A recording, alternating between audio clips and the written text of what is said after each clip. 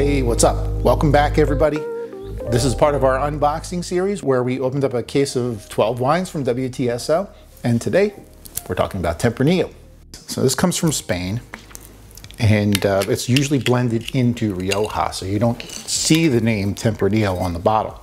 And what does that mean, Tempranillo? Tempranillo, I had to look it up real quick. Um, the origins are from the uh, Spanish word temprano, which means early. So compared to the other grapes in the region, this one ripens earlier.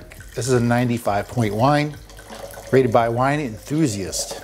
And it's very traditional for Rioja wines, wines from the northern part of Spain like this, to rely on American oak. So where's the oak from though? Like is it, are they barrel oak?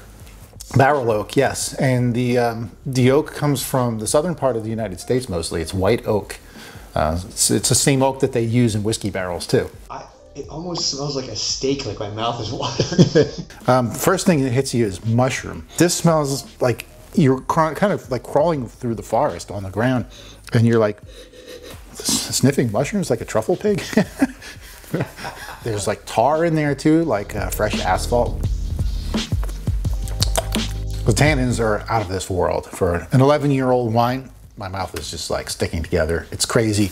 And then uh, super strong licorice flavor. It's one of the first things that hits you. There's even a little sort of like a soy sauce kind of thing going on in there. There's no more fresh fruit left in the wine, which means that this one is well on its way to maturity. Wine like this with intense tannins you soften them up or you mitigate them a little bit by partnering them up with another protein. So logically, hard cheeses work well. Something like a manchego would be great. An aged cheddar, like an English cheddar. But uh, Justin had a really awesome observation. Asian food, because of that soy, that umami quality in this wine. Uh, that would be amazing. Like I'm thinking like like pepper steak, teriyaki chicken, teriyaki chicken, uh, I'm hungry now.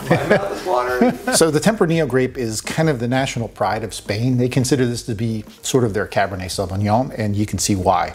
It's really complex, especially when you add in some oak aging, and it lasts for a really long time, as evidenced by this 12-year-old uh, example that we have here. Another amazing wine in a box of 12 that we've recently unboxed. If you want to see what the other 11 wines are, subscribe to the YouTube channel so you get to see all of them. And if you want to buy great wines like this, go to WTSO.com. Come back and hang out with me for the next bottle. See you guys. Cheers.